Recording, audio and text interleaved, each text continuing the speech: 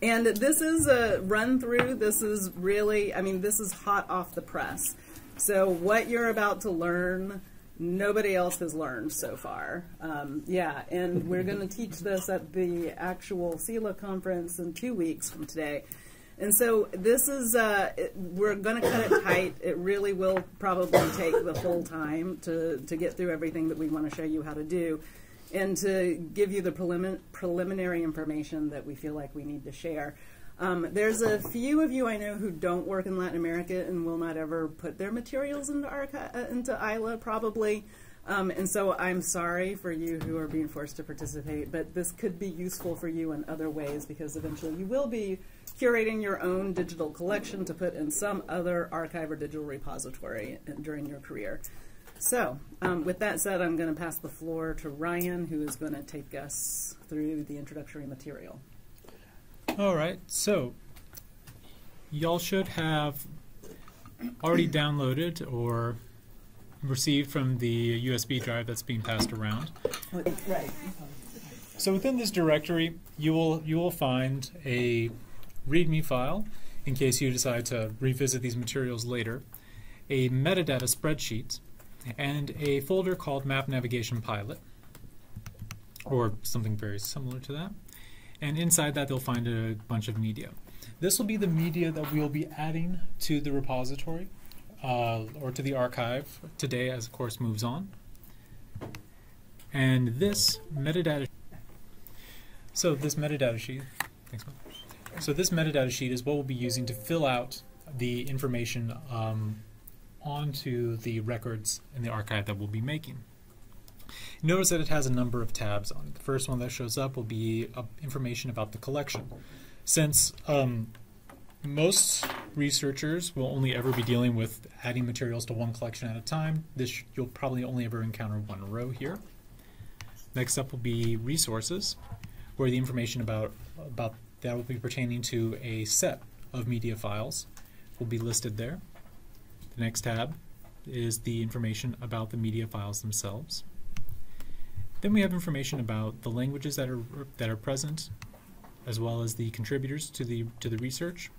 And at the at the back end of it all, we have a list of controlled vocabulary.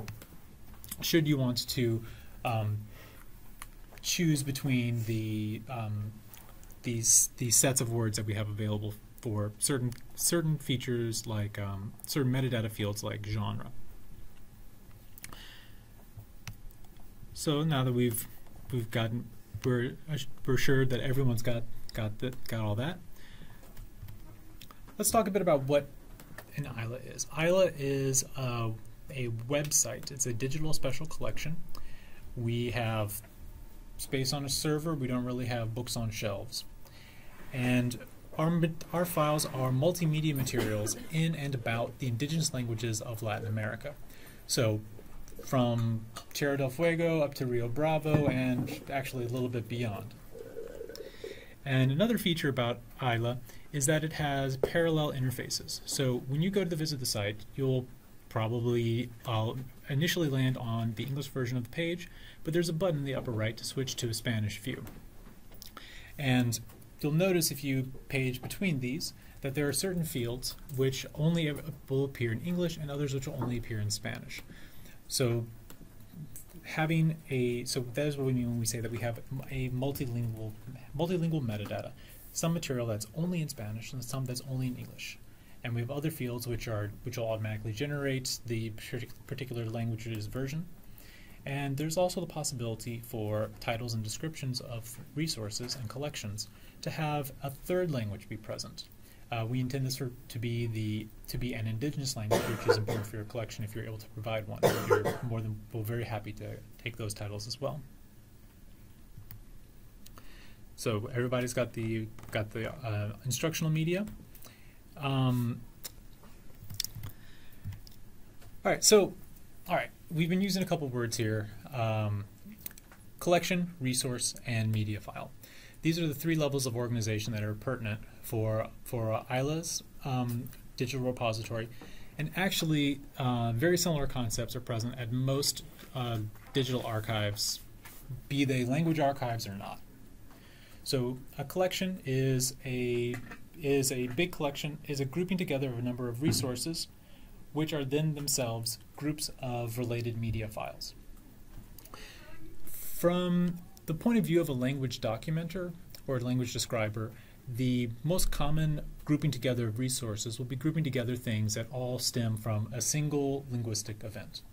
So a so a linguistic act is done. It is recorded in by audio, video, or or or being written down, and then from there, you might produce uh, audio. Might produce transcriptions and translations of the of the of the, um, of of that bit of speech or signing. You might get um, photographs related to the event that's taking place, and you might have other kinds of analyses that you derive later.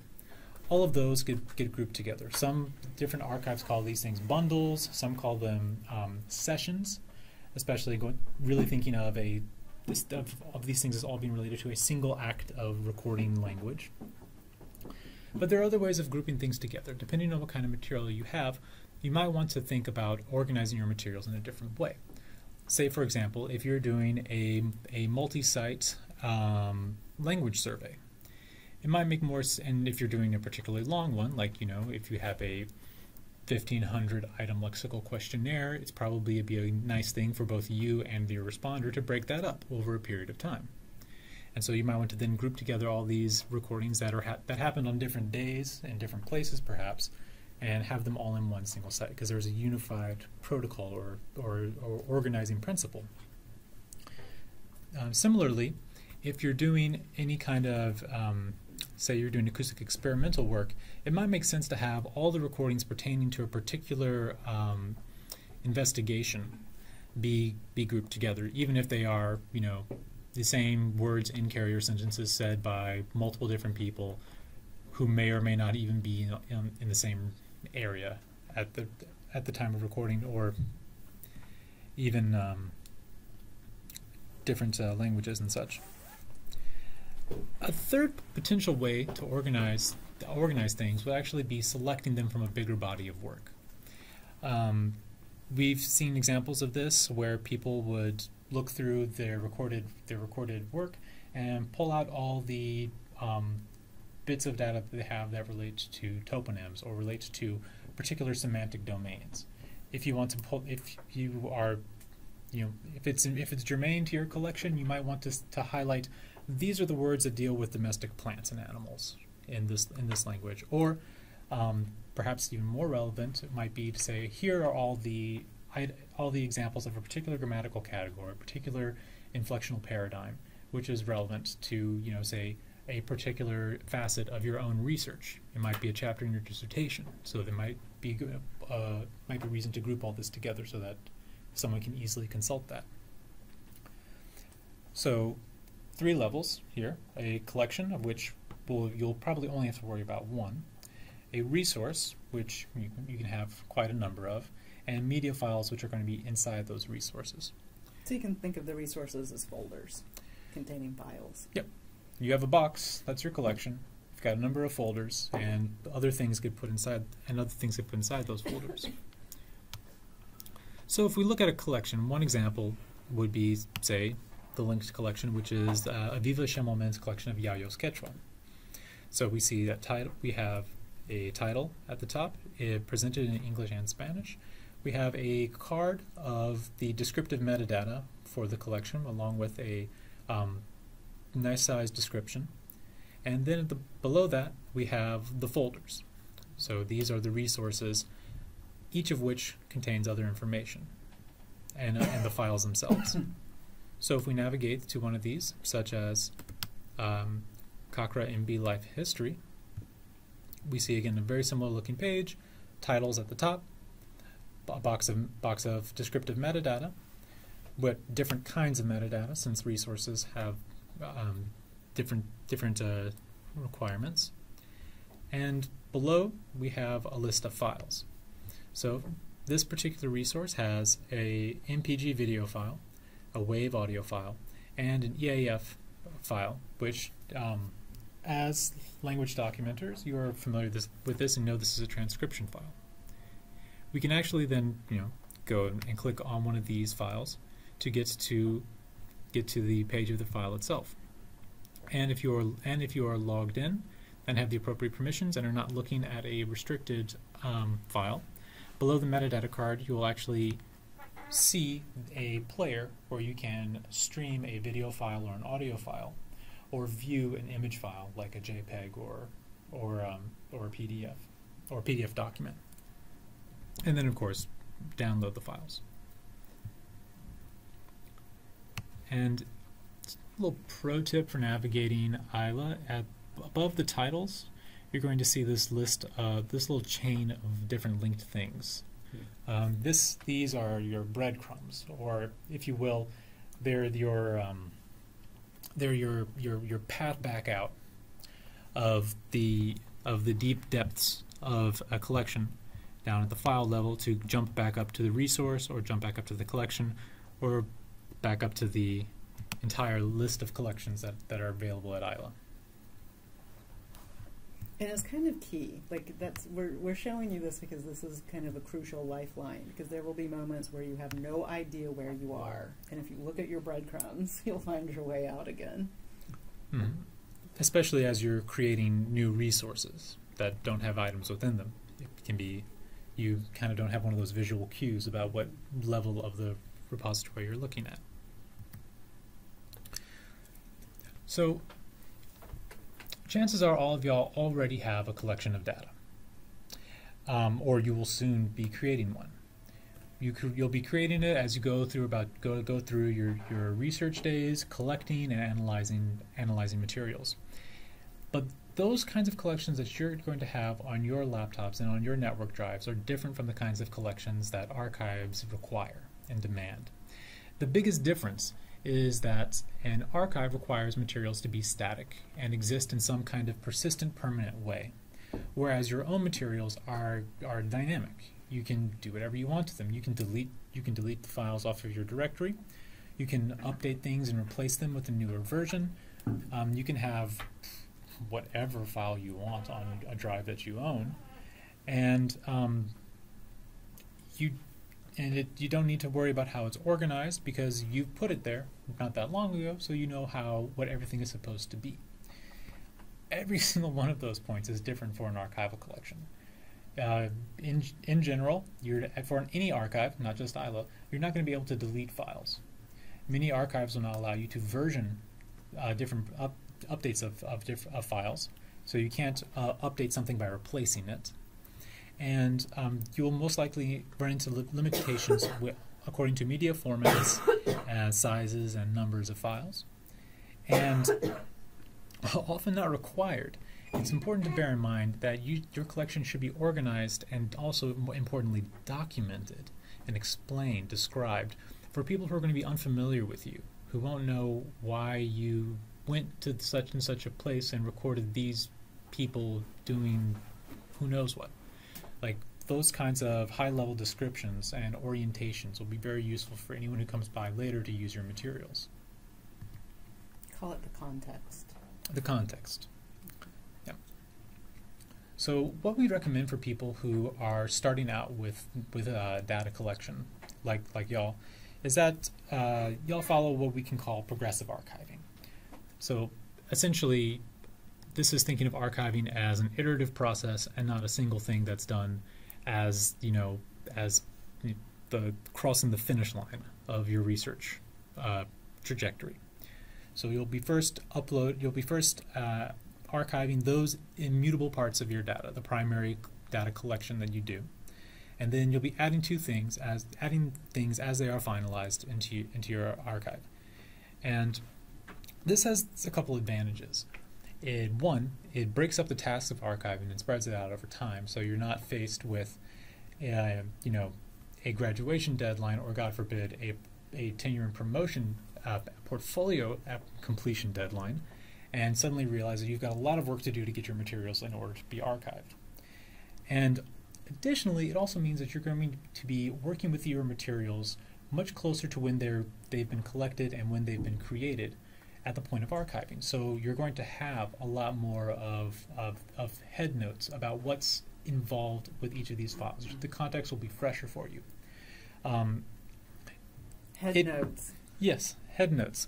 So information, Head notes. information that things that you know about your materials that you that are Only live here. that only live in your head. You never write them down because you know what they are and they make perfect sense to you.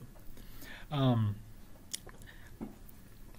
um, you might not have had the experience of looking back and wondering why you why you made a file in one of your directories.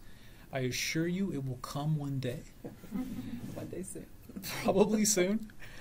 But um, yes, it's it's mystifying to ask to to think, why did I record this person counting to ten? I already had these numbers. Why would I be? What was I trying to do? But if if you do the if you do this these kinds of steps earlier and these the documentation closer to the point of creation, you're not going to you're going to have the opportunity to capture more of that. So, example, progressive archiving. Imagine that we're on a we're some uh, linguistic anthropologists who are studying the ethnomedicine practices of a particular community. We go we go to we go to the community, we conduct some interviews with people, and we after our, our field trip, we go ahead and archive the video and the photos and the audio from that from that um, from that event. Those things aren't going to change. The photograph isn't going to be edited in any significant way later. We're not going to realize that there was a mistake in the photograph. And similarly, the audio and the video, it might be edited or modified later, but the, the core data is still going to be there. And then, you know, we do more field trips, we visit the community again, we work remotely with some language assistants to get some of our materials transcribed, and then we go ahead and start filling in the resources we've already made with our additional now with our additional derived products. Um, most commonly for, for language documenters, this will be things like transcriptions and translations, but you can also imagine like you know the results of a you know brief little acoustic study that you know you're um, charting out different speakers' vowel spaces, for example, could be added to another resource potentially. Maybe you added subtitles or closed captions to your video or something. Yes. Yes, the uh, the, sub- the subtitles or a subtitled version of the video could then also be added. And this process will then happen iteratively over the course of the research. So, you know, after our, our transcriptions, so, you know, six more months of work with our consultants, and we've got translations of our of our interviews now.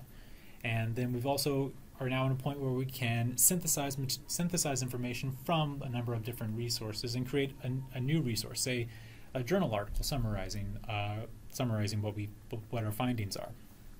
Um, for language documenters, you know, you'll be adding resources as you do your research. That will be your lexicon, your um, your grammatical sketches will be other new new resources that you'll be adding, and of course, those resources will have the most likely a PDF of the article or a text file of the article as a as a file.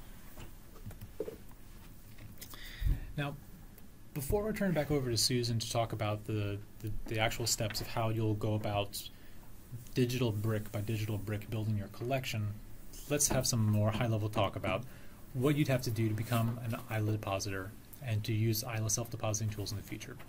First off, if you don't, if you haven't already, you'll need to create an account, and you'll have to agree to AILLA's uh, conditions for use of archive resources. This is a pretty common agreement. Essentially, uh, you agree to um, cite the resources you use, to not use materials in the archive for commercial purposes, and also to um, respect the creators of those materials and the people in them.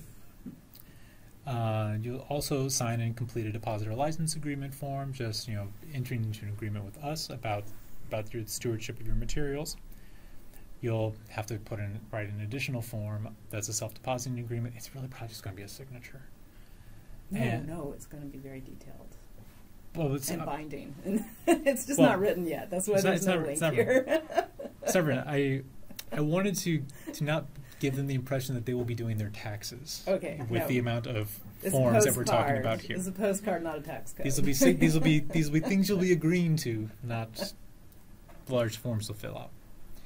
And you've got all that in place, you can then give us a some a metadata spreadsheet with some information about things like your collection itself, the languages that are represented in it, and the contributors.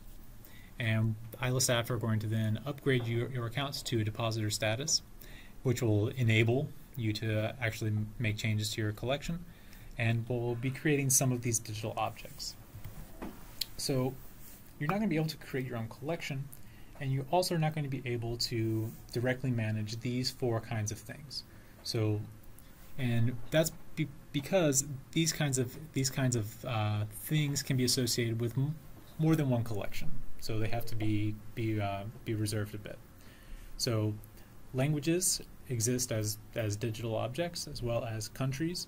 Um, as and persons who are going to be the contributors to the research, both as researchers and as research participants, and other possible roles. And um, organizations. So, if you're part of a research team that that is depositing their materials in AILLA as a team, you can potentially have this kind of entity as your in your collection.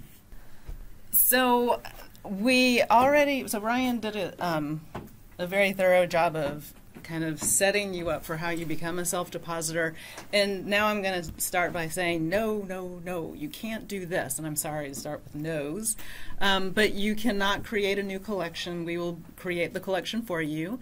You cannot create or edit the person records, as we mentioned before. Some person records actually cross go um, are, occur in more than one collection because some people um, end up being participants in more than one researcher's research. Um, and also, the person records contain a certain level of personal information that we don't want avail- made available to the general public. Um, you cannot create or edit organizations for the same reasons as persons. Um, you will not be able to create or edit language or country records, and this is because we have to follow um, authority lists. So all archives and libraries follow some sort of authority list so that your data always points to an authority list and then you can therefore keep it very consistent kind of across the whole archive. Um, and so we are following authority lists for both languages and countries. You will not be able to delete objects. So this is really, really important, and I think it's something that a lot of people don't understand when they first decide they're going to put their material into an archive we do not delete. There's a long process of preservation and backup that we have to do. So even if we deleted your you know one file from the repository itself, the online repository, that file still exists in multiple backups in multiple places and it's just going to be impossible to go and delete it from all of those different backups. Therefore, um, please don't put anything in the repository that shouldn't go into the repository. So you really need to think about every single thing that you're putting into the repository, and that means looking at every one of your photographs. Um, if the photograph is not relevant, don't put it in the archive. I know that there are a lot of cute kittens in Mexico, but they do not; those photographs do not go in the archive.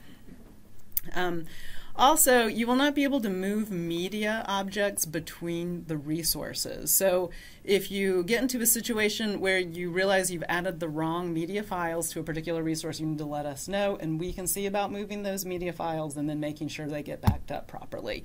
And that's the major reason why we can't let you move media files yourself, because then we don't know that we need to re-back up those media files in the proper place. So here's what you can do. Once we've created your collection, you can edit the metadata. And on the Shimelman, I, I had my back to the screen. You showed them the Shimelman collection, right? And it had this really long, nice description.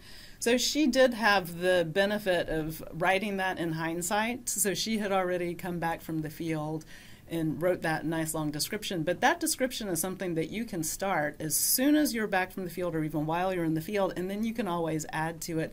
And you can change it. And if you got something you know slightly incorrect in the description, then by all means go in and edit the description. Or uh, maybe you've got a website that you want to add to your collection information or something like that. The other things you'll be able to do are create and edit your own resources. Those are the folders that contain the media files. And so you will be able to add those and then you'll be able to go in and edit the metadata that's showing up. You'll be able to add your own media files, but there are some restrictions. So the the interface that we're going to use says that it allows media files up to two gigabytes, but we've discovered that it the connection actually times out for anything larger than about a gigabyte. So you will need to limit your file size to a gigabyte or less. Um, and we only allow certain formats to be ingested into the archive, and those are listed on the forms themselves.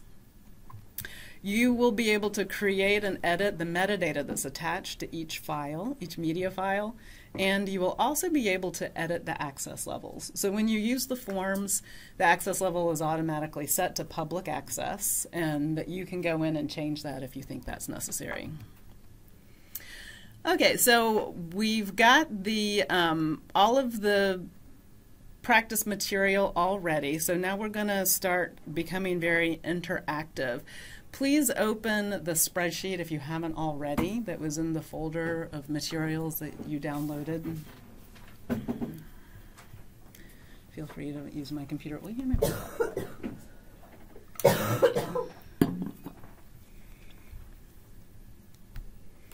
Oh, I don't have my my notes here.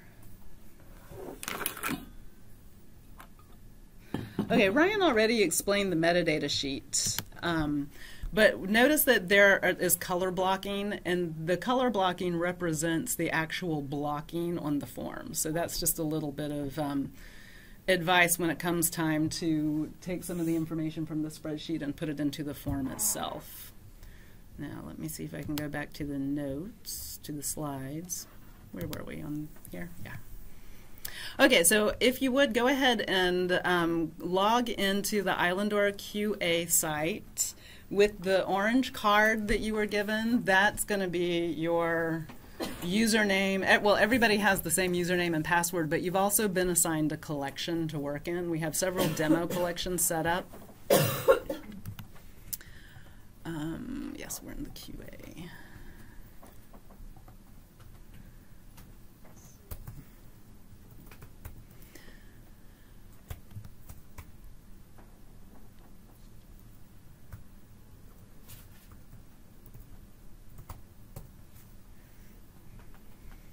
Is anybody having trouble getting to the QA site?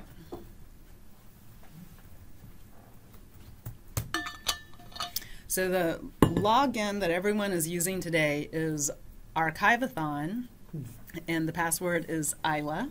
So go ahead and log in once you get to the site.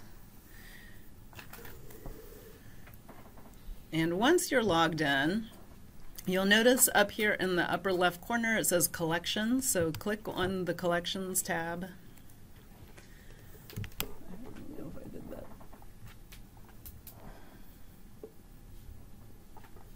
I think I'm not clicking hard enough. This is not my computer. There we go. No. It's not, not Is it responding. slow because we're all using it at once? Did yours eventually come up? I can probably use the back button and get back there faster.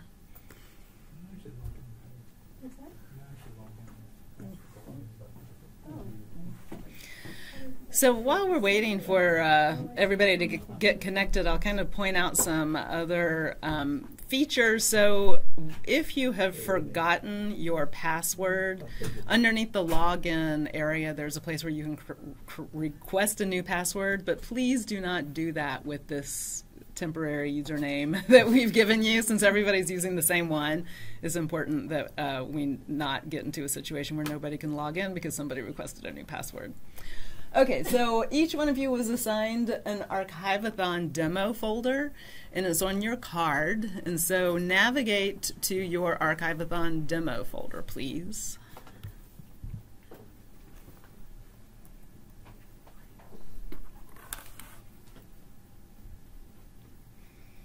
Is everybody there? Mm-hmm. Okay, now the first thing that you're going to do, and oh, I don't know what number I'm working on. What number should I work in, Ryan?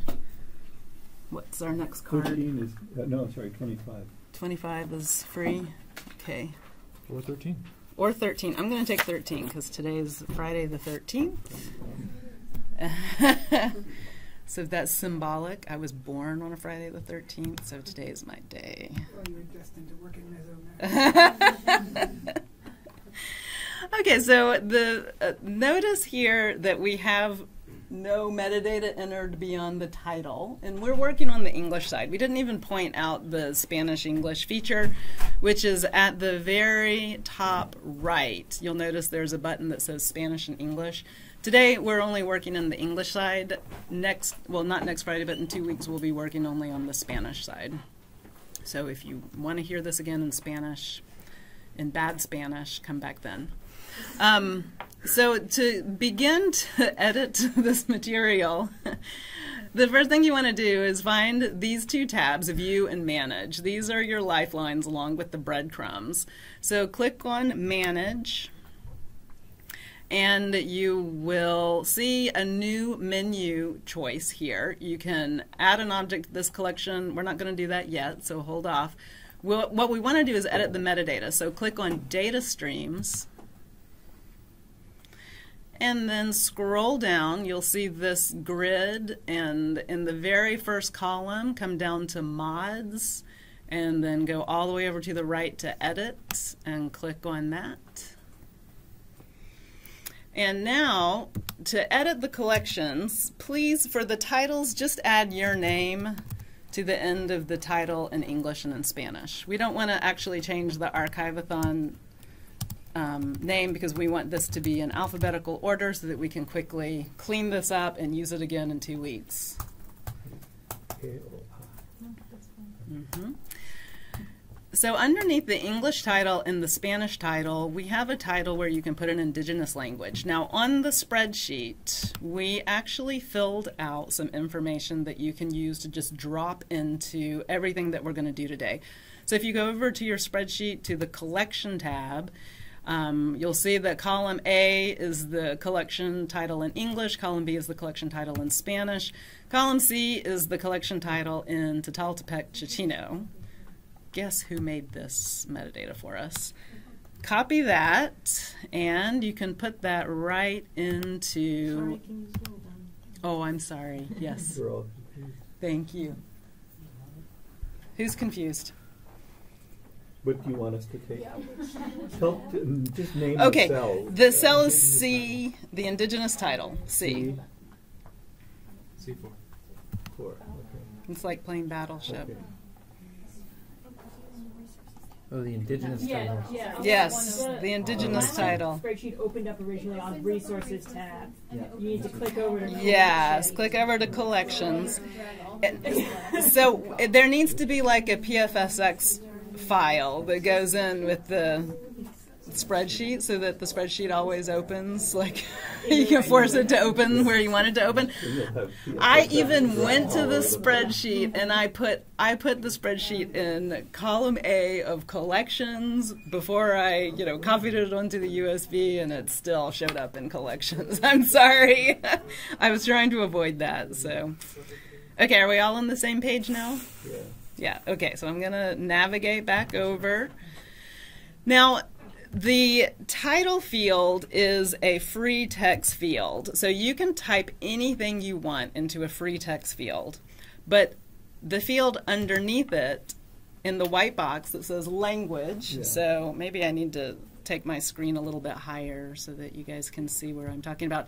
So we just entered a title here, an indigenous title, and then under that we need to specify what language that title is in because search engines are going to be searching the web. All of our other language fields are labeled behind the scenes with either English or Spanish, but we have to forcefully enter the language here. But notice this little circle. This little circle means that this is an auto-suggest field. There are hundreds of languages in this database, so you have to suggest slowly. So you start typing Chatino, and you see what comes up. And you look in your list, and you see if you can find Tataltepec, and it's Tataltepec de Valdez. And we select that. And notice that it saved the language code here. That's what's displaying in this form. I don't know why it's displaying that in the form. It's just how it got programmed Okay, we're going to skip the website and we're going to come down to. Okay, well, let me show you what we're skipping. If you had a website associated with your project, then you could enter it here. Susan, Christian. is the abbreviation, abbreviation of the language name related to the um, code of Yes. the language? Right. It is Yes, the code. it is It's the code. ISO. Yes. This is ISO Yes. code, right? That's our authority list. We use the ISO 639. Yes. Good question. But unfortunately, we haven't been able to make the search engine search just for the code. So if you knew your code and you just typed your code in here, the auto suggest wouldn't work. So you have to start typing the language name. These auto suggest fields are very sensitive, and if you type really fast, faster than it can auto suggest, and don't give it the opportunity to auto suggest something, it will not actually save what you typed into that field. So it's important that if you see this auto suggest field, that you actually pick an auto suggested option. All right, so you have the um, place that where you can put the website, which we're not going to do right now. And instead, we're going to come down to the collector in um, field. And I want you to notice the tab at the top that says one and this add button. So this add button, you will only push it if you need to add a second collector. So it will save the first name automatically, but if you want to add a second one, that's when you push the add button. So if you go back over to your spreadsheet and stay in that same tab, we're not going to leave the collection tab for a while, and scroll to the right. Let's see if I can get it to scroll to the right. Whoops. We'll come up into the blue area where it says collector name 1 and collector name 2. So we see we have two collectors, so we're going to have to fill in two names in the form. And these forms are called web forms, by the way. So again, this is an auto suggest field, so you need to type sort of slowly. We're looking for Mark Sicoli. Fortunately, he's the only Sicoli in the whole database, so he's very easy to find. But when you get a Pedro Martinez, that's going to be really hard. Um, so I added Mark. I waited. Well, I started typing. I waited for his name to come up, and then I clicked on. I hit enter. So his name is now saved, and you can tell because there is an AILLA PID here. Okay, so these AILLA PIDs are very powerful things. And once an AILLA PID is assigned, it's assigned forever, and it never gets used for anything else. PID, persistent identifier. Yeah, persistent identifier. Yes. A person identifier, except that they show up for more than just people. So please click the Add button and notice that you get a second tab up here at the top after you click the Add button. Yeah, and now you need to actually click on that second tab. And when you click on the two, another name field appears. And we had a second name on that spreadsheet. Does anybody remember what it was? Ryan Sullivant. Good. So slowly start to type Sullivant, and we've got two auto suggest options, or at least I got two. So I'm going to find the one I want, and I'm going to click on it, and now he's saved. His PID shows up, so we know that he is legitimately in the archive. Well, they should notice that his name is not what was on the spreadsheet. Right. On the spreadsheet, he was Ryan, and here he's J. Ryan. And that's a, an issue that comes up all the time with Ryan's name. Yeah, and it's an issue that comes up with other people's name too. So that's why we ask you all to provide us with all the person information ahead of time so that we can make sure that your person is in the database. And if it turns out they're already in the database, like they did research with somebody else, we can alert you to that. We're also going to send you back a list of everybody's PID so that once we have put the people in the database or found them in the database, we will send you their PIDs so that you can always use the PID to help you locate the person. Make sure you have the right Juan Martinez. Is there a way to look at uh, like the like kids electronically to see like like as I'm doing this? Oh, I don't know where my list of PIDs is that AILLA gave me. Can I look to see at all the Juan Martinez's that are in the system? You can. What what I recommend that you do is open a second um, tab in your browser. Um, and I'm going to show you guys, but I don't want you to follow along necessarily. So I'm just going to come into another window, put in the Islandora QA site. Oh, look.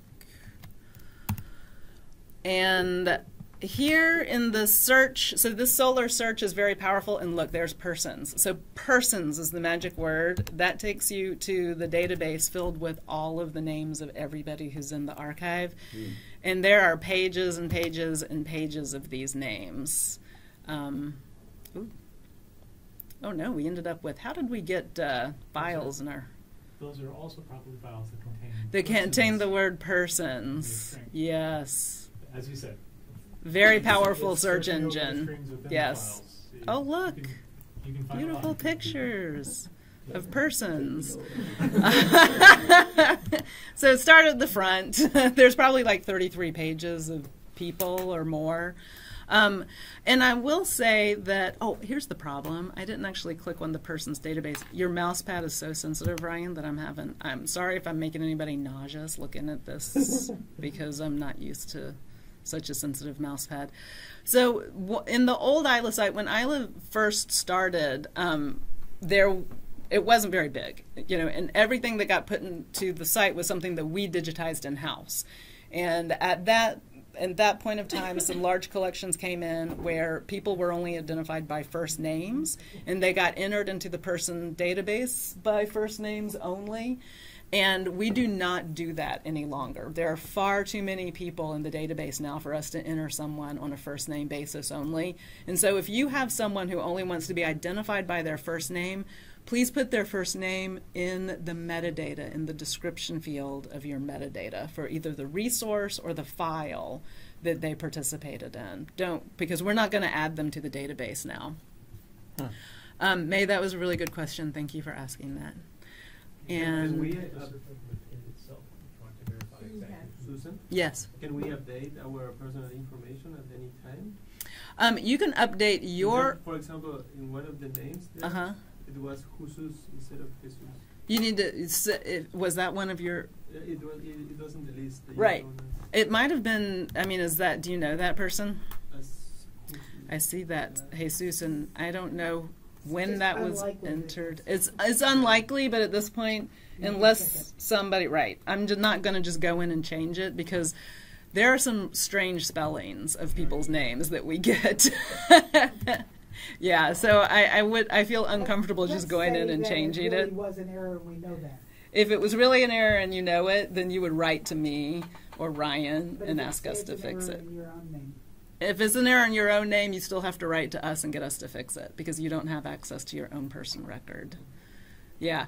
The person the person database is linked. It's like its own collection. So as a self-depositor, you're given a special um, pass into your own collection. And the depositor role is a very powerful role. And in fact, this role is what delayed the launch of the archive for many, many months, was getting this role to work correctly because it was way too powerful at first. The idea is that you have access to your own collection and nobody else's collection. And you have administrative access to certain things in your collection, but the person's collection, your own person record, is in the person's collection, and you don't have access to that. Does that help explain it? Yeah. But we'll be happy to change your person record if you want us to. Okay, so the next thing we have here is the depositor. Oh, this- I'm sorry, it goes so fast. The um, depositor might not always be the same person as the collector. And situations where this arises are frequently situations where the collector is now deceased and somebody else is acting as depositor on their behalf. Um, so go to your spreadsheet and look and see who we have listed as the depositor. And we're in luck. It's the same two people that we Oh, had yeah. listed as the collector. So, oops, sorry. We'll go back into the interface, and in the names field, we'll go through the same process that we did before, where we are looking for Mark Sicoli by typing slowly into the auto suggest field, and then selecting his name when it appears. And then we click the add button to get another tab to come up. We click in that second tab, put the cursor in the name in the field, uh, the uh, the um, text box and start to type. Uh-oh. Sometimes you'll find that if you type too many characters, you don't get options. It's very finicky. Okay, so has everybody got their people listed, uh, entered into the um, form, the web form? Okay, next we're going to do the same thing with language. So go back to your spreadsheet and look to see what language is listed in this collection. And so this is blue on the spreadsheet, and notice that we have two languages here. We have not just the language name, but we've got the language code, and that's simply to help um, help you identify what you're looking for or help us identify what we're looking for. So back on the website, put your cursor in the language box, start to type Chinantec. There's quite a few Chinantec choices. We want the Xochiapam. We select it. We click add because we want to add a second language. We click on the second tab, put the cursor in the text field, and the next one was Chatino Tataltepec. Yell if I pass it. Ryan. Ah, it's at the bottom. That was lucky. Okay, sorry. Pro tip: You might want to search over the least common Yeah. string in the thing you're looking Right. for. Yeah, that'll make it come up a little faster, unless, you know, the least common thing is Zapotec de San Juan, and then you've oh. got, like, San Juan's pretty common. Funny enough, this time, this time it gives you the, it, it stores the name of the Yes. language, and the last time it stored the ISO. That is not by 689 of the design. That's by, that's by accident. Yeah. Yes, yeah. that's that's by, you know, developers getting their hands on stuff and not doing what you told them to do. Okay, the next field is the country field. So if we go back to the spreadsheet, we're going to look and see what countries are listed here. Mexico for sure, but also notice that the United States is listed. And this is because the country field is actually asking which countries all the materials in this collection were created in. And so we have a situation where some of the materials were actually created in Mexico. The audio and the video recordings were done in Mexico. Maybe some of the transcriptions were done in Mexico. But a lot of the analysis work, the analytical work, was done in the United States. And so both countries get listed as countries of collection. So start to type in Mexico. You guys are probably ahead of me now. And click on the add button to get a second tab. Click on the two, put your cursor in the box, start to type United States. Now, we this is not an exhaustive list of all countries. Um, we're only adding countries as we need to. So if, if you know the, the country that you want is not in there, please write to us and let us know. Um, next is a description field. And while before I forget, and I'm sorry I didn't do this before, this form is really, really long because it is a bilingual form and there are instructions in both English and Spanish underneath every form field. So that if you forget what we're doing here today, all you have to do is read the instructions and you'll remember exactly what to do. So back on the metadata spreadsheet, we come over to um, column P, which is the description, and we're just going to copy that right out of there. It seems to be in English and Spanish. Yeah, there's two fields. There's one for English, one for Spanish, and then there will also be one for the indigenous language, which we can't see on. But, The but screen, in yeah. the English, there's Spanish. Uh, that's because it. Notice that it says these are bilingual instructions, right? So the Oh, I name of the field in English is description English, and the name of the field in Spanish is descripción inglés. Oh, yes. yes, Okay. yes, Yeah. It is kind of confusing when Oh, you look oh, at it the first time. like Blue. Yeah, the um, metadata spreadsheet is also bilingual.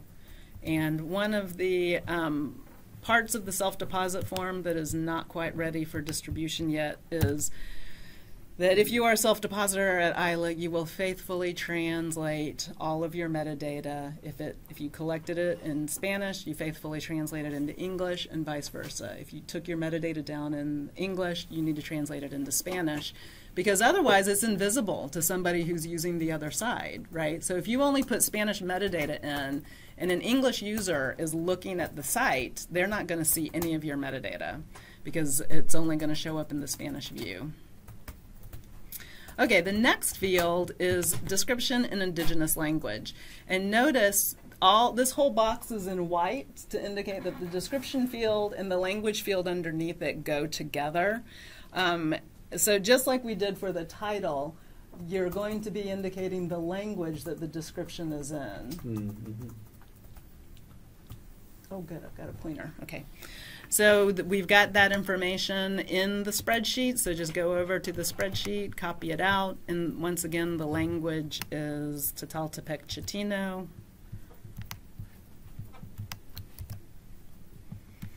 So after you copy the language, uh, the description into the description field, which is a free text box, you're going to use the auto suggest field to come up with the language and we'll use Ryan's pro tip this time and just start typing yeah. Tataltepec and look, it was the only one that came up. So that's an excellent pro tip. So we also have a reference field. So this reference field is for any references that to works that have come out of the materials in this collection. And people um, kind of expect us to keep up with their reference field for them, and I'm very sorry we cannot stay on top of all of your publications and add them to the reference field for you. You're gonna, if you want it to be in with your AILLA collection, you're gonna have to add it yourself. So we have only one reference for you to copy in here, but again, notice that you could include multiple. I've entered like 12 or 15 references in here for some, some of the collections that I've worked on. So once you've finished adding all of this information, click on this button here that says update, and you'll get the little message that says waiting for for it to update. And your screen won't look exactly like my screen because my screen has my name on it, but you should have the same metadata here in the metadata card, or the catalog card, if you will. So that's how you edit your collection information. Do we have any questions at this point? I have a question, but it's related to, so, I, um, I have a name and a password and I go, I go into AILLA. So, I'm just, I'm only allowed to modify my data, right? So, Yes. uh, In that sense, I'm, um, I can be an editor, but, and also a, a get, a guest to see other, any other files. Correct. Right. So, AILLA, you are required to log into AILLA in order to use the site, in order to stream video, audio, view files, right? The metadata, and I should have said this at the beginning, the metadata is open. So an anonymous internet user can land on the AILLA page and read any of these catalog cards that we're looking at right here. They can search the site, they can find people in the person database, but they won't be able to stream any of the files or view any of the files until they create an account and agree to the, the conditions of use. So once they've done that, then they'll be able to download the files or view the files, whatever they want to do. But then you have special access into your collection. So if you go to somebody else's collection, it's like you are an authenticated, logged in user. But if you go to your own collection, that's when you will see these view and manage tabs, and that's when you'll be able to make changes. Yes, good. Okay, so going Susan, I also have one question. Yeah. I noticed that some of these fields um, are things that are probably also are, are is metadata that's probably also relevant to the actual items within the collection. For example, like what country it's in. yeah, If I add an item to the collection that I say is in Canada, is that automatically going to update the collection, or do I need to do that manually? you're going to have to do that manually. Okay. Yeah. That's another good question. And unfortunately, there's a lot still that's very manual in everything in the site. Um, this really is MVP, minimal viable product. Uh oh, I just closed my slides. Sorry. Let me open those back up. Okay, so the next thing we're going to do is add a resource. So we are on the collection page, and you can tell from the breadcrumbs here, it says home, collections, and then it has the name of my collection. And then underneath, and between the English title and the Spanish title, we've got these two buttons, View and Manage. So again, click on Manage, and then underneath, next to a little bullet point, it says Add an object to this collection. hmm So please click on that. All right, so now we have our metadata ca- uh, card entry here at the top, and, but if we scroll down, we're going to see our form fields. And so now this one, rather than starting with the English title, it starts with the indigenous title. So we're going to go over to our metadata spreadsheet, and now we're going to switch tabs. So on the spreadsheet, click on the Resources tab. And the very first column, column A, says title indigenous, and there's nothing there. So we're not going to put anything in on the web form. The first title that we have here is in English, so go ahead and copy that out. And go back to your collection, to the resource that you're creating. And the one, two, third field here is English title, and copy the title in there. Then you're going to do the same thing with the Spanish title. Go back to your spreadsheet, get the Spanish title, or you can just translate it yourself if that's faster for you.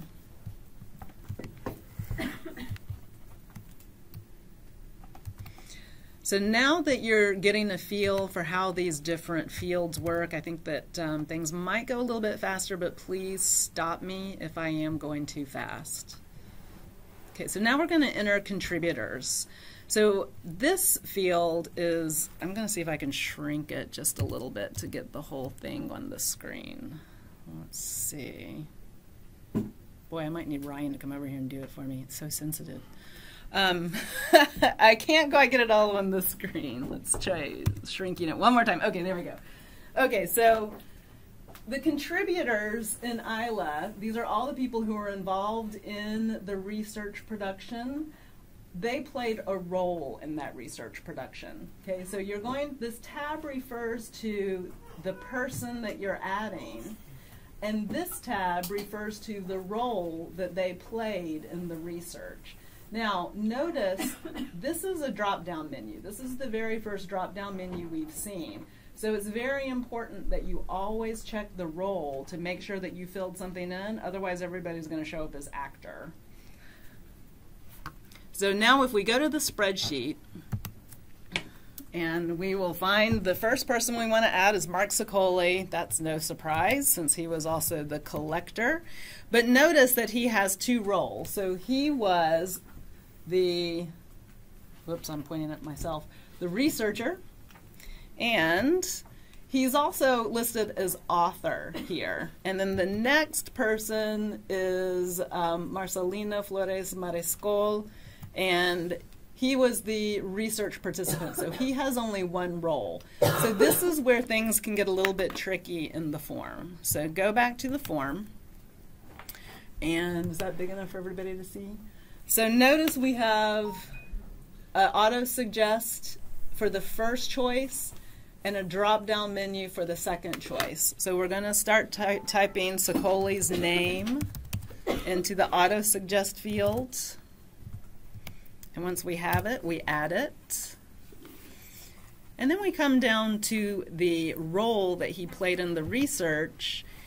And we need to find researcher here in the list. Now notice that this list is alphabetical based on English and it has the Spanish translation next to it. I apologize for anybody who's a native speaker of Spanish. This was the best we could do with the programmers that we had. but um, so this forces us to choose both the English and the Spanish, both the English and the Spanish at the same time. So we add him as the researcher, and notice this add button goes with this field because it's all in the same box. And the add button underneath it is to add a new participant because it's all in the same box. Okay, so this is where boxes. nested boxes, right? This was some fancy programming, actually. It took a lot of special configuration, yeah, in Tony's words. Um, click on the add button to get a second role. Click on two, and then come down and choose author because that was the second role that was listed on the spreadsheet. Okay, so now this, notice that we have Mark Okay. and he's got two roles. Now keep your eye on these tabs right here. If I just hover over the tab, you'll see what is selected for tab one without having to click on tab one.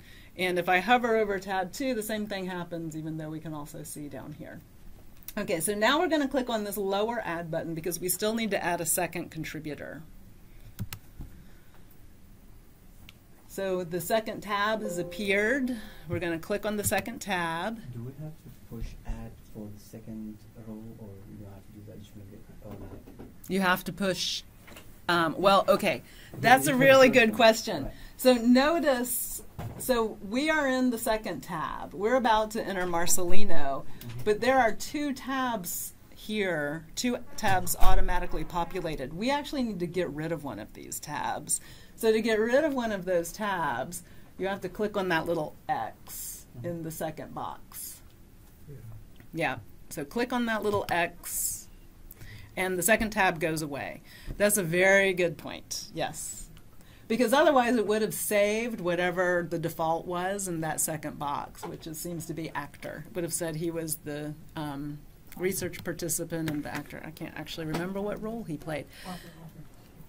Now, um, Marcelino's last name and first name are very hard to come up with, but if you type on Mariscol, he should come up. So you have to be very creative in your searches on the auto suggest, and there are days when I get very frustrated with the auto suggest. Oh, but there he is. yeah, but he's there. Oh, there it is. Okay. Yeah, you got him. I'll just spell it wrong.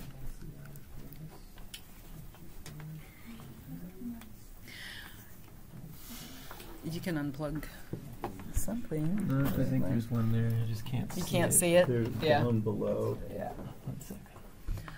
One second. Okay, the next field that we're going to look at is the language field. Oh, I forgot to add a role for this guy. I did exactly what I told you not to do, which was I, wasn't careful to check what his role was. What did we say his role was? part- part- uh, he's research participant. Research yeah. participant. Thank you. What do you mean by that, by the way? By what? Research participant? Uh, is it the, the speaker or is it someone? It's the generic form that you it- actually I'm sorry that we chose that. Let's just put speaker here. I think let's everybody put speaker in if you didn't already.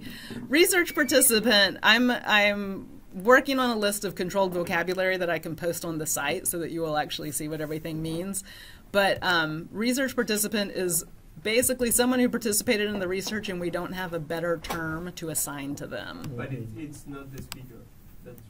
That's that's my It might be the speaker, but I would choose know. You speaker. don't, may not know Right. who he was. Yeah, yeah. Exactly, right. He was there, you know, he was so it participating like, like in some like way. someone who's sitting on the side and might have influenced the speaker's decisions. Right. Oh, or we have a person. We have a person called.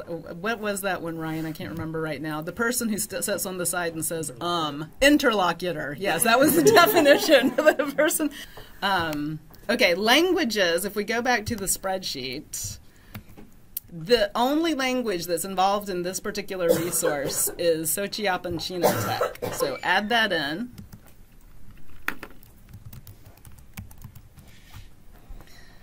Uh oh, I misspelled it, so nothing auto suggested. There we go. And the materials in this collection, if we go to the um, back to the spreadsheet, we see that some of these materials were created in Mexico and some of these were created in the United States. So that's in the countries down here at the bottom. I ask a question? That Yeah. might be a stupid question. No um, question is a stupid question. If this is a way of, of ingesting the data initially, then how will the relevant names and stuff be in the drop-down menus to begin with without it having? You, s- you sent that to us ahead of time. But then isn't that kind of like doing it twice? No, because the we're putting the people into the person database. Oh, All we're doing is adding them to the person So database, and you're finding them in the person So all we need to do Right. ahead of time is, is let AILLA know these are the research people who Yep. are new to the database, which I want to work with. Exactly. That's exactly what you need to do. don't have to say they're new, you just have to oh. say who they are. Right. If they're already there, that's okay. You check it against the. Right. We're going to check it against the master. So notice that we have a description field and in English and Spanish and again the indigenous language. And so we've already done these description fields. Um, so I'm not going to talk. I'm just going to let you fill in the information, go to the spreadsheet, get the information, and put it into the spreadsheet. and raise your hand or speak up if you need help.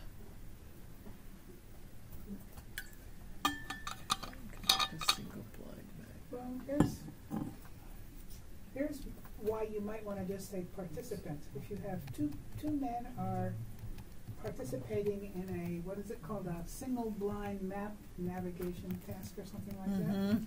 then it's not exactly somebody who's giving, a speaker giving you data about the language. And that, that might be a good reason to use participant. To use research participant instead, for sure. Yeah. Research participant. Yeah, there was one experiment that I did that involved um, location of things in relation to each other, and there was no speaking going on at all in that experiment. So that would be a good example of use research participant. Um, so the the spreadsheet that we're working with, Mhm. this is a model for us for like as we're keeping track of our own files to make sure that we that we know all this metadata ahead of time before we go. Exactly. Possibly ever going to be a way to take this standardized spreadsheet and use it to automatically up, create That's our that's our hope and dream. Yes, but is it going to happen in time for you? no promises. Sorry, it took us three and a half years just to get this repository launched. So, okay. So moving on back to the form, um, I did not enter the description, so I I'm have one Oh, final I'm sorry. question. yes. Is there is this metadata spreadsheet template gonna be available somewhere, or do I need to like guard this one? It on is available. It is, but it's not as pretty as this one. We just edited this one yesterday to make it really pretty. So you could guard this and just delete all the sample data out and use it if you want to. Okay. Um, this is the latest version and it hasn't even made it up on the website. But at some point, It's on the website with the the. I'm gonna um, actually aren't as good yet. the colors aren't as pretty. They're kind of garish and clashing. And let me go to the actual. I, oh, it's not Phyla. It's AILLA. There should be a FILA. Um, he, on this website over here in depositor information, and then you click on depositors, our forms are here. This is where you will eventually find the self deposit form. We'll post it online. And this is also where you will download the metadata spreadsheet, but you'll get like the version before this if you download it right now, whereas like next week you could probably get this version. it just hasn't gotten up there now. There's also, there's also a in link to this download in the slides. Yeah. Yep. So if you follow that link at a later date, um, that's not what I wanted. I wanted this. So here's a field called language community, and this is kind of a vague field, but this is the location where the subject language is spoken, and this is really important when there are different. Um, either different ISO codes for what seems like the same language, or the same ISO code for what are clearly different languages. And, and a good example of this is the case of Ixil. Danny's not here, but there's like three major varieties or dialects of Ixil. Um, but there's only one ISO code for Ixil, so you can put down one of the language communities, whatever language community the this particular um, video or what have you is relevant to, that goes into the language community field.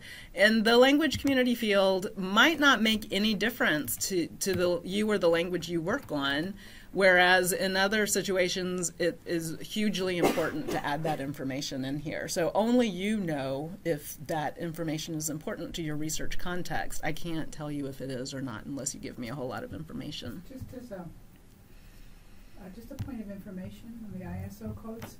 The ISO codes, ISO codes for Mayan languages used to have multiple names for the different languages, but they called them languages, not dialects, which they were not, and they weren't correct anyway. They didn't have a full list. And so I was the one that, um, that reformed that. And so yes, now there are, s- they're only using a single designation for each language, which means that if you want to distinguish the dialects, you have to do it in some other way.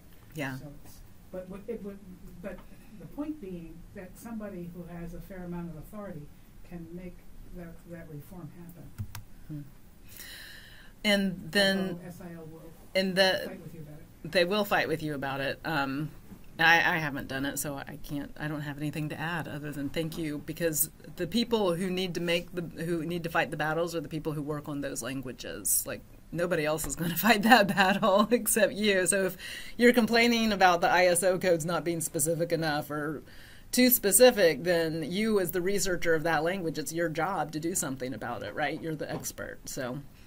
Um, the next field source note is important if you have changed a file name. So you know when you go into the field and you've got your video camera or your regular image camera or even your audio recorder, they automatically assign file names. Um, and it might just be a numeric um, file name.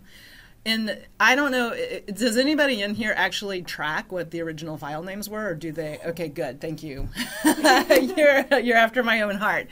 So if you have kept a list of what those original file names were, because that's your raw, the rawest form of your data, but then you later change that name to include, you know, whatever code you're using for your file names, be that somebody's initials, community, language, date, whatever, you've got your system. Um, if you have tracked that information, this is the place where you will put it. So this is essentially the original file name. Now, for material that was originally analog, this would be a place where I could write, you know, notebook one of 10 or something like that. Um, or cassette one of 25 from blank series. I mean, there's all kinds of information that can go here, but this is another one of those fields that's it's very personal and only you are going to know if you have the information to go there or not. Susan, when you migrated to this um, new, whole new AILLA site, did you keep the same Mhm. codes for all of the, each of the files? Mm-hmm.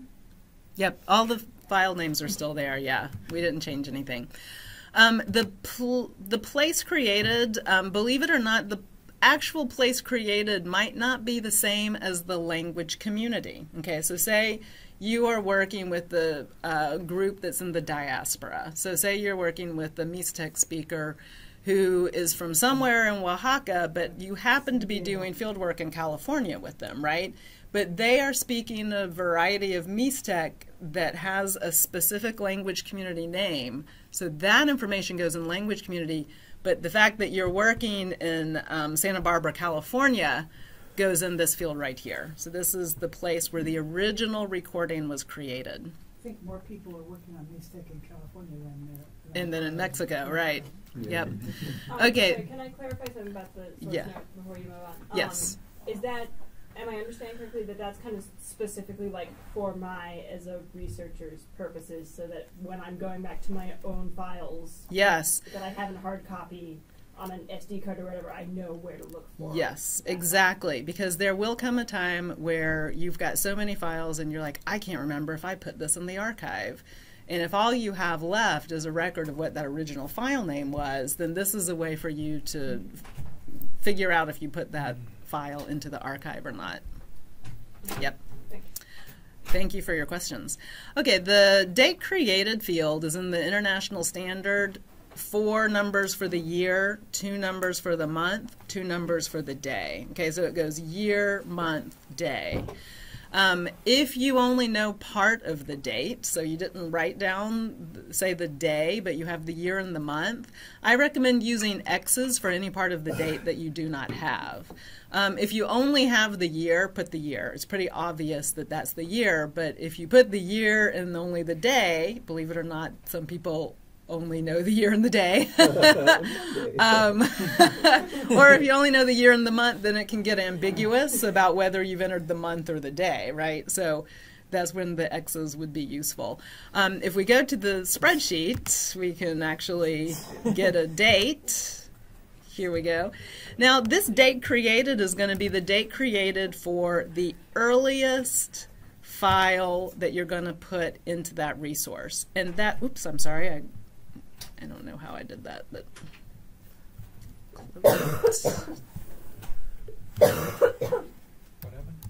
Oh, I accidentally opened another window. Um, so this is going to be the first date. Typically, the first date of a file in the resource is the date that that primary recording or that first recording was made. Okay. Um, next field is genre, and notice that the genre is another one of these that has an add button. So you can choose as many genres, as many relevant genres as you think are appropriate for the material that you have. So if we go to the spreadsheet, notice that we have three genres saved here. Um, and I will add that even though we have only three different columns for genres, you can copy that and you know have as many columns as you want. You could have 25 genre in here if you thought it was relevant to 25 different things. Um, you'll have to enter all 25 things into the web form, but you can have multiple genres here. So in this field, we have conversation, instructions, and whistled speech. So we're going to go back over to the archive and select conversation. Oops, I did not get conversation, so be careful when you select things. Click the add button, you'll get your second tab. Click on that. Grab your next one, which was instructions. Ah, it's too too fast. It could be a procedure, right? Instructions. Um, you could just write down instruction in that drop down box and just goes into it. Yeah, you can. Yeah, just type it in. Um, you're trying to hurry me along. there, you happy? For, um, ah! for the genres, Yes. uh, are they fixed the way they are? Are you going to add more? Or? We're not going to add any more if we can help it. Okay. Um, that's a controlled vocabulary. And so, anytime that we add a new term to our controlled vocabulary list, there's all those hundreds of thousands of Yeah. files that didn't have the option of having that term added. We do do it in cases of dire emergency. For example, map was not one of the genre terms in the original database, and we had all these maps and no way to find them. And so I added map to the database, but then I also had to go through and search for all the maps that we had. I don't know that I found them all, but yeah, so that's why we don't add genre. Um, okay, so finally we're going to add a reference, and we have one reference here. And again, this is a field that you could put multiple references in. And for the sake of time, we're just putting one. And once you have your reference in, there's a little tiny button at the bottom left that says ingest. Did everybody find the mm-hmm. ingest button? Click on ingest. And the repository will eat it. Yum, yum, Yep. yum. And now it should say yum yum. It used to say, please be patient while the the. okay. Ooh, what did I do? Yikes. Okay, It so language code is required. I got rejected. did you not put a language code in? Guess not. Wow. Thought I did. So that's new. So apparently, if you don't put a language in, the form will not I did ingest. put one. Uh oh, Ryan. Technical difficulties. So this is what I did, and it said language code not specified. Did you type it in or did you put it in I'll the? let you play with it, and you can hit ingest and see what it does. actual translation In Hestionar. Oh, oh, there. Well, is it, Oh, is yes, it, is it right, also the okay. translate? It's, it's maybe the best word. Yeah, yeah, yeah. What Well, happened, of Ryan? course, won't- Exactly. The- exactly. I'm, I'm clarifying If the uh, indigenous title or description field is not empty, a language code has to be specified. So specified. it just Oh, doesn't okay. tell you where. Where you went wrong. it, No. uh, It's not a perfect system. Okay, so I've had this error, the I want to over here. Curious if Yeah. it's draw everyone's attention to the six digit number right up here. That is your persistent identifier. And we have a place on on the spreadsheet, the very last column in the resources tab of the spreadsheet is a place where you should record the PIDs. And this is a housekeeping ta- uh, task that is going to feel very onerous, but it's really something that's crucial because many people keep the same metadata spreadsheet throughout their all of their field trips. And later, they give us the same spreadsheet or they have to consult the same spreadsheet and they've forgotten what they put in the archive and what they didn't. But as long as you're keeping track of your PIDs, this is the this is the place to put your PID, keep track of it, and you automatically know if it's in the archive or not. If you have a PID in that column, you know that that file or that resource is in the archive. Because it wouldn't have been generated otherwise. Exactly. Is kids generated for every single uh, document that you? Yep. We're going to get one for every single document. Yes. So, again, that number right there is a very important number, and I recommend that everyone keep it. It can also, if you put that um, six digit number into the Solr search, it'll take you right to that record. It's the quickest way to get to a particular record. All right, so all we did so far, we created, we edited our collection material, and we added a resource to that collection. And so now you can see on our breadcrumbs, here's our resource, here's our collection. It's inside the collections database that's inside AILLA. I wish it said AILLA instead of home, but it says home. Can't have it all. All right, so now it's time to add a um, media file. And I'm going to talk a little bit about media files and the types of media files that uh, we can add. I'm sorry, I'm, I wasn't keeping up here.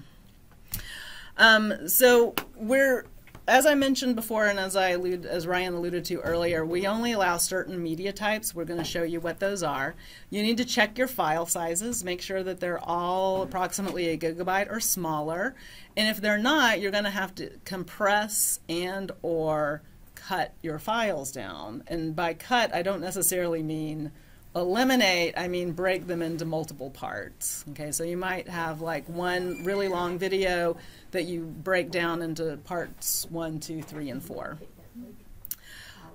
Make sure that you don't have any viruses in any of your folders, please. I mean, it seems kind of obvious, but please be careful that you're not um, uploading any executable files or anything like that when you ingest files into the archive. So it's a good idea to just go ahead and run your virus software before you actually start ingesting and avoid special characters in the file names.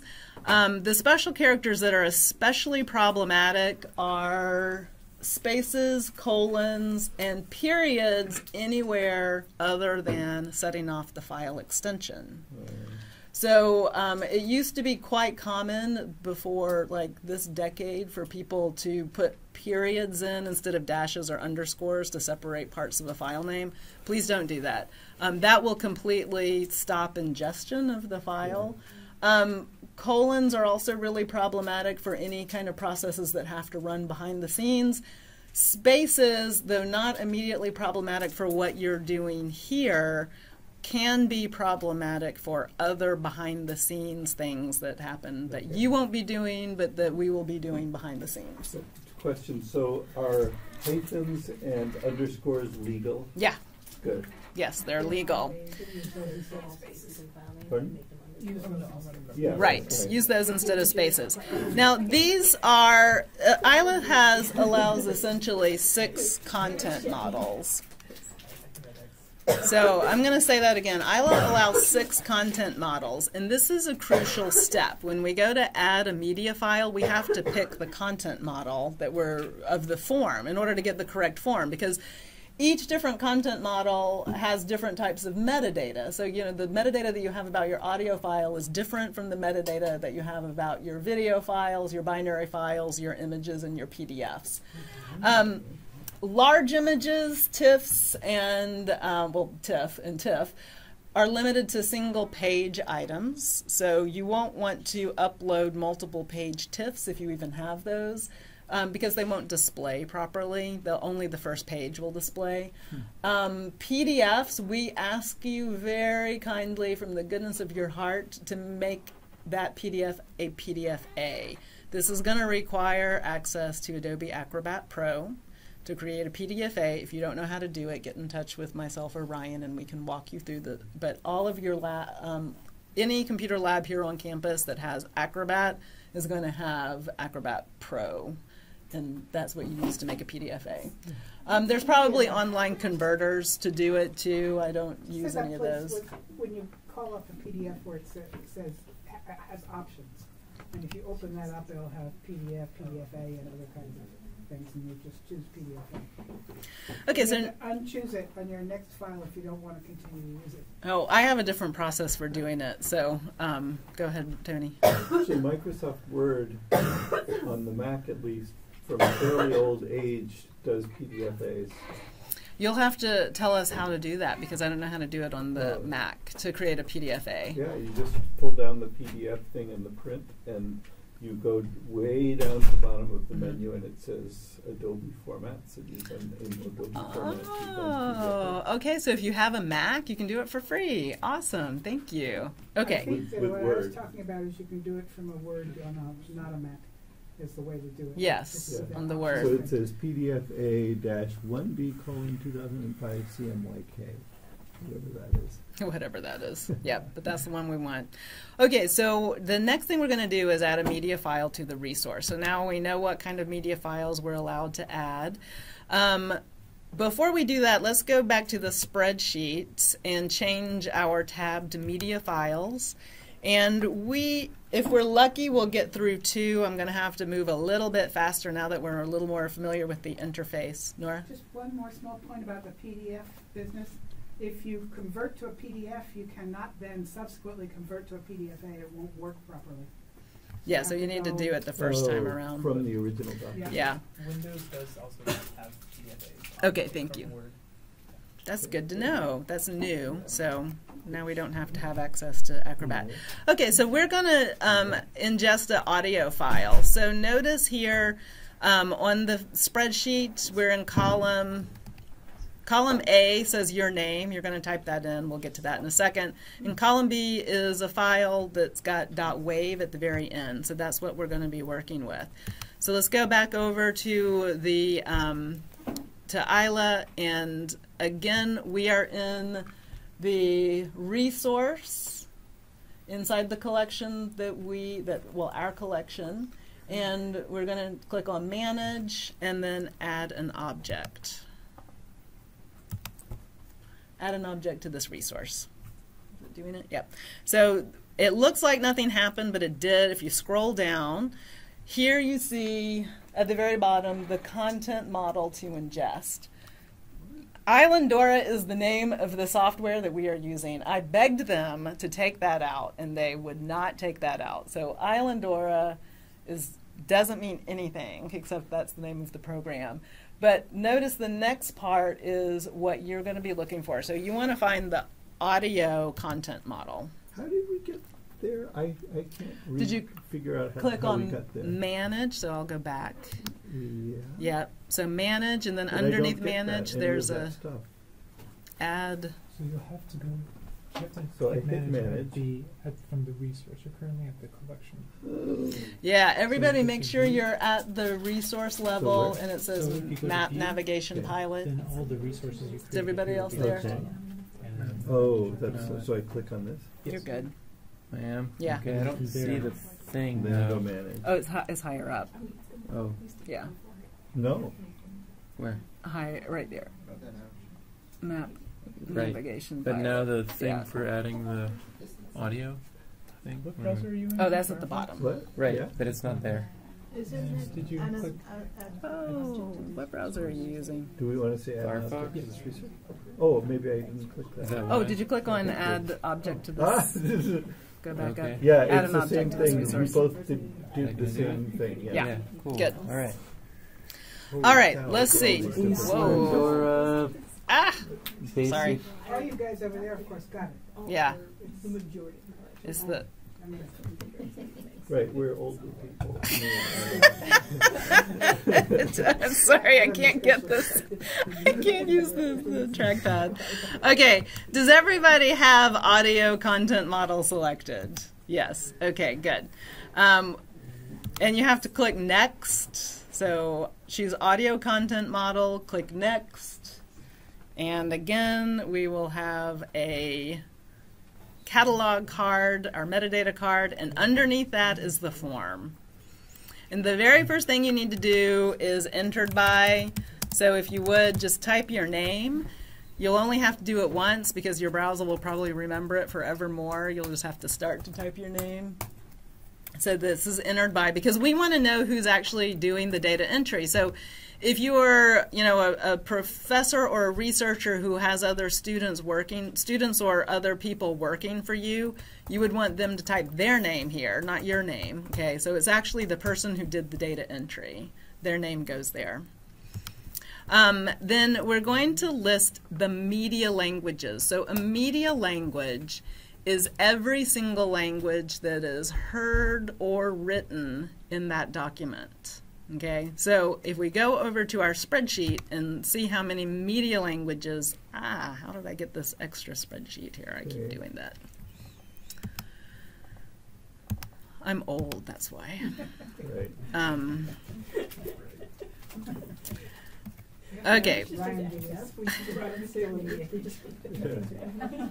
All right, so notice that we have three media languages. We've got Chinantec, Spanish, and English. And I'm going to tell you right now, Spanish is going to be problematic to get it to show up in the language menu, and you're going to laugh when we get to it.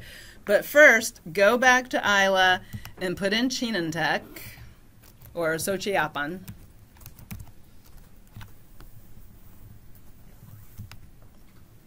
And click Add. Click on the tab 2. Now, Spanish. If you try to type Spanish, it's not going to find it. You have to do Espanol, and this Got it. is a relic from the Oh, old from old AILLA. old AILLA, Right. yes, that we have not been able to figure out how to change. That's so so funny. I know. If you go to the language record for that language, it says Spanish, it says Espanol, it's it's all clearly there, but for some reason it's just grabbing that language name that got migrated. And so other people who if you're working on a language that you know has had material in AILLA for a very long time, you might have the same problem with another language. So you just have to try different variations of that language. Uh-huh. So And- are you just going to add notes to this effect? Because how are people going to ever know what to do if they're not? Well, we're hoping that this will get fixed. Uh, Um, yes. and also, That can also be part of, that's also part of the instructions that we will return to the repositories after they give us information for languages. It'll be, here's this bit, this is the name that you'll use for it. Mm. So you'll know, you know, I know that you, you call the language Sumu, but you're gonna have to type in Mayangna. right, exactly, yeah. Okay, so um, again, get your date created, copy it in, because that's the next field. This date created happens to be the same as, oops, I'm sorry, I went to the wrong place, as the date created that we put on the resource form. Because this is the first recording. This was the, this is kind of like the root item. Uh-oh, what did I do? I'm sorry, I went too far. If you hit enter, it'll just take you forward a, a screen and you won't really get past there. Um, we have a space here for some sort of physical description or technical description. Oh, I'm sorry, I, skipped content type. This is another controlled vocabulary that AILLA has. And audio and video recordings are typically considered to be the primary text. So whatever the main media file or files and that resource might be, that's the primary text. And other things are frequently some sort of derivative product. So if you look at the choices that we have here, there are annotation, commentary, context, guide, illustration, interlinearization, interpretation, photo, that's not quite a that that's not um, analysis, but uh, sample, transcription, transcription translation, or just translation. So for an audio or video, you're typically going to choose primary text. There will be instances where maybe you don't, but those are instances where you write to us and ask us, what should I put here? Um, we have a description in our metadata spreadsheet in English and in Spanish, and you can copy those in while I talk. Um, you know how to use those fields now, but you'll notice that at this point we do not have an indigenous description here. So we're not, I, I don't know why, it just didn't happen. it just didn't make it into the form. And so we don't have a technical indigenous description. But we do have a field for length or duration. So if we're talking about pages, it's a length. If we're talking about recordings, it's a duration. For the recordings, we're going to ask that you use the format two numbers for the hour, colon, two numbers for the minutes, colon, two numbers for the second. So hour, hour, minute, minute, second, second, divided by colons for consistency across the database. And that information is in the spreadsheet. So you can just copy it right in. We were very nice and put it in the correct format in the spreadsheet. Then the next field is encoding specifications, and this field is unique to audio recordings. And the default is 22 slash 44.1 mono. Um, if you go over to the spreadsheet, you'll see that this recording was actually in stereo. The other numbers are the same, so you'll just have to, um, oops, sorry about that. I keep going to the wrong place. Yeah, it's right there. Next. Select the stereo option. The platform field, this is a free text field because this is where you can put any kind of information relevant to the programs or the computers or maybe even the recording equipment. The instructions don't say recording equipment, but you could always put down the name of your camera here. If you did any kind of editing to your audio file before giving it to the archive, for example, you did it in Audacity, you would want to note that here. Um, any other kind of special formats that you were using, you would put that in the platform field. And the original medium was, um, in this case, it's a digital audio file. Notice that we have other sorts of original medium here for audio. If you had somebody digitize some old tape recordings that you had, the original format is tape, right? It's cassette tape. And so that would get chosen here. Probably um, nobody in this room you know, besides Tony and Nora and myself, have tapes. But um, if if you did, like if you go to the field and somebody gives you a tape from a long time ago and you decide you want to digitize that and put it in the archive, first get their permission, and then second, cassette tape goes in here.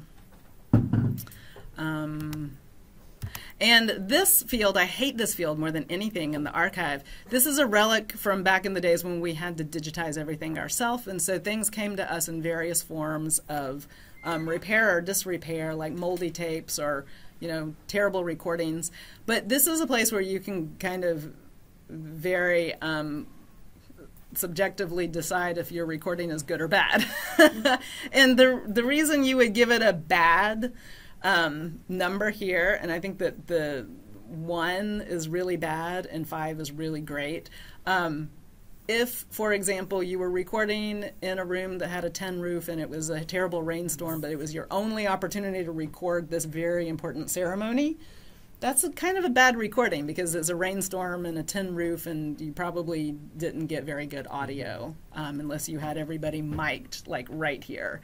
But so there there is a circumstance in which you might want to use a one. If you have the best recording equipment in the world, you're probably going to put everything a five, but the default is three, and so almost everything I enter, I put a three.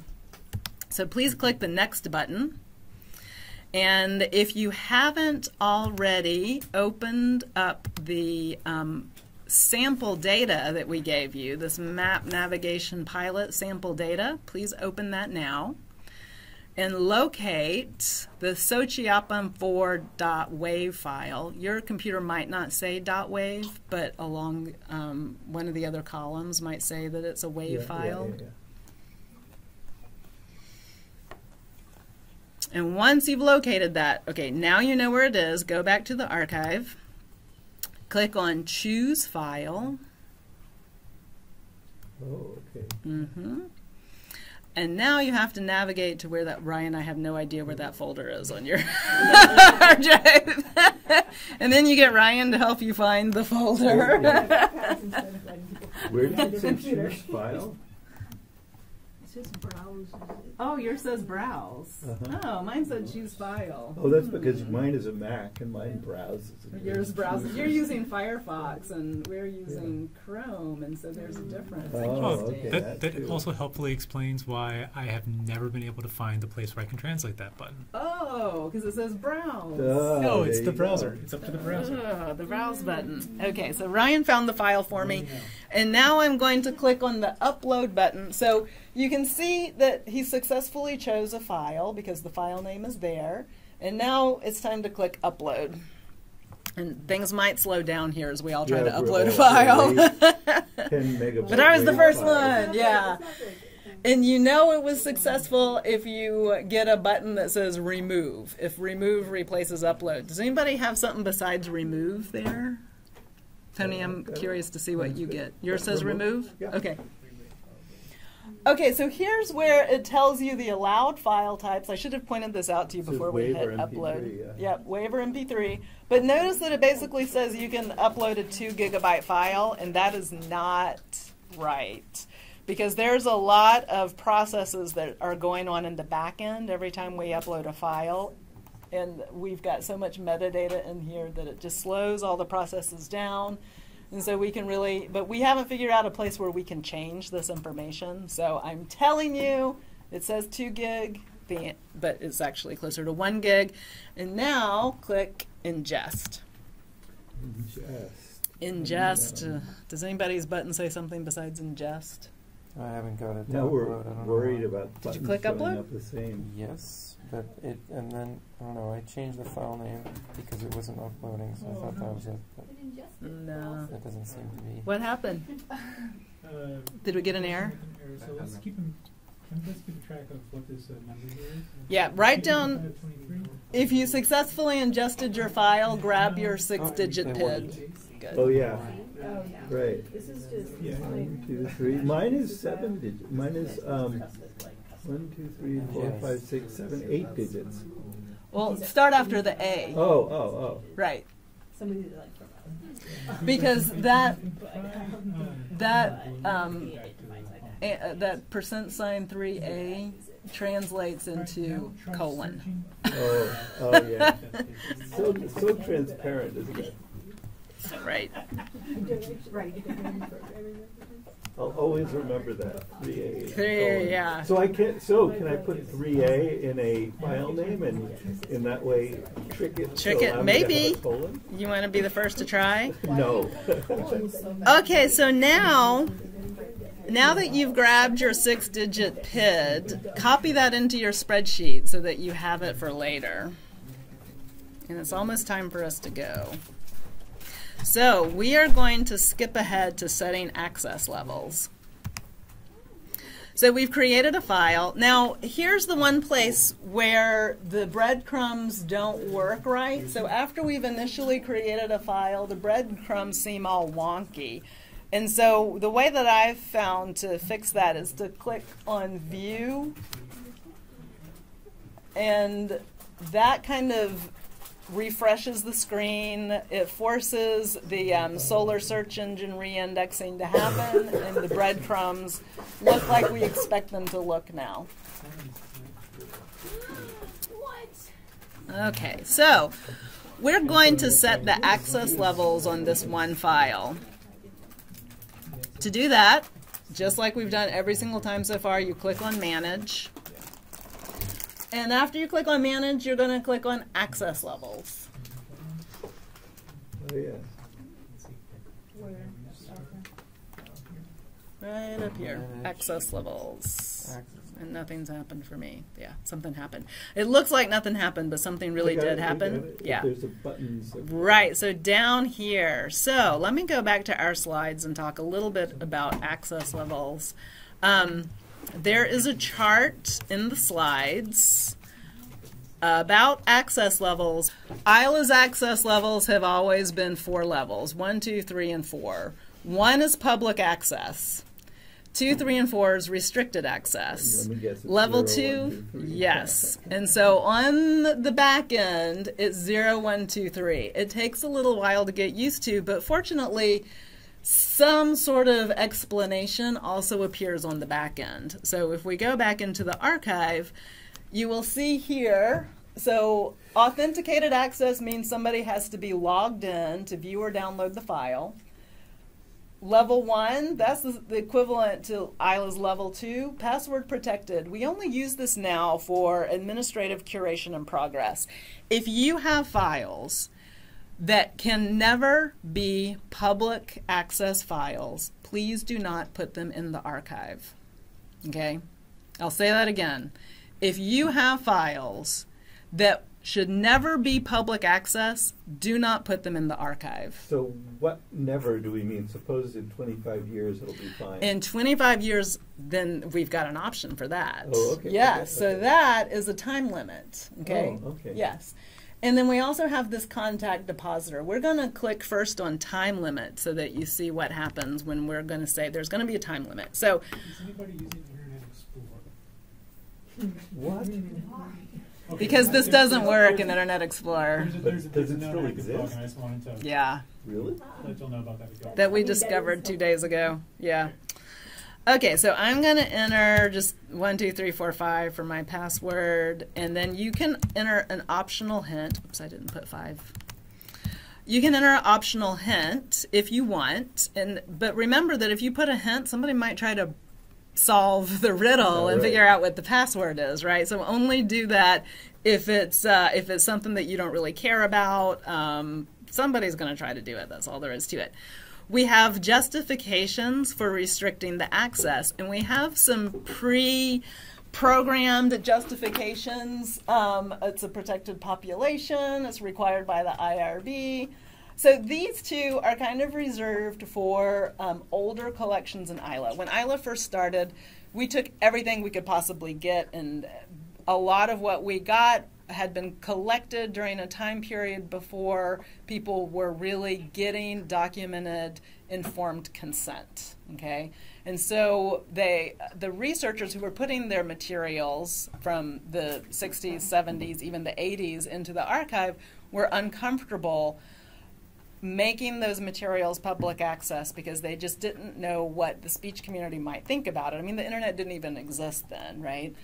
So we have some um, kind of pre programmed things that probably will not apply to you, since I've just said if your files can never be public, don't put them in the archive.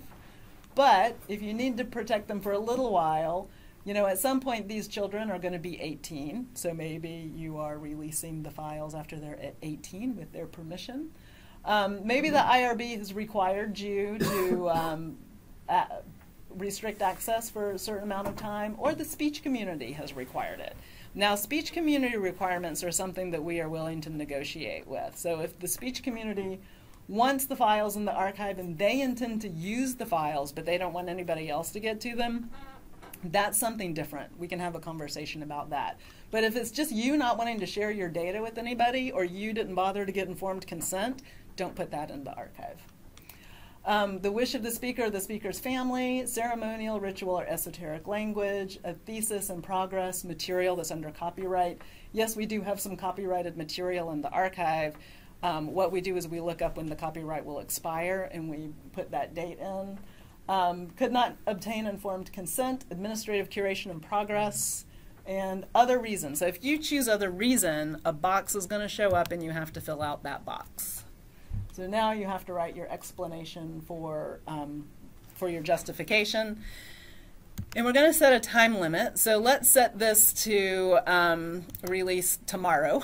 but if you notice that this little box, when you pull it up, the years only go to 2020, but you can You you, can don't write anything you can write anything you want in. You you are not restricted to the years that are on this box. Um, notice the archival format for the year. If you don't get, I mean, for the whole date, if you don't get it right, and say this was set to release on 10 um, 6, then the computer, if you put 610, then the computer would release it on June 10th. I don't know that, you know, four months is going to make that much of a difference, but just be aware that this is archival um, format. So once you have everything entered, you click commit changes. And I forgot to show you what this looked like before, but click on view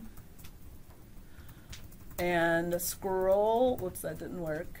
Sorry. Go back to um, map navigation pilot. So we're using the breadcrumbs to go back to the resource to get to the file list for the resource. Oops.